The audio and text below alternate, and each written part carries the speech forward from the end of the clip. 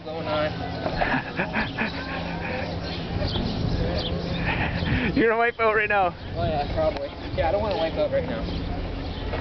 You still taping? Yeah. Squash my pants.